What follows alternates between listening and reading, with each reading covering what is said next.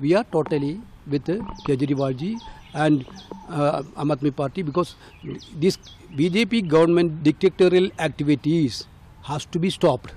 So we are appealing to the people of this country. I think they are all witnessing all these things. They know everything. So we are re- requesting the people of this country.